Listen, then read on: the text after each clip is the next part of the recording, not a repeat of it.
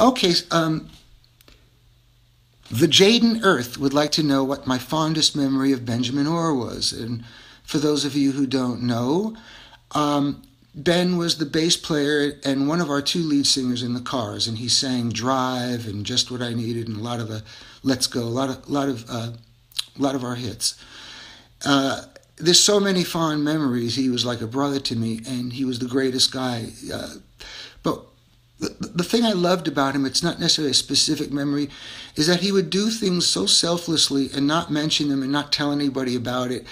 Uh, for instance, we found out years later that he was helping uh, a, a, a, cousin that we didn't even know of financially, just quietly helping them out. And but the one that that comes to my mind is um, when we all lived in the Boston area when the cars uh, were going, uh, you know, active. Ben lived in the same town as me and uh, only a few blocks away.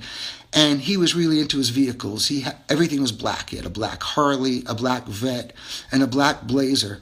And he had the snowplow attachment for the black Blazer.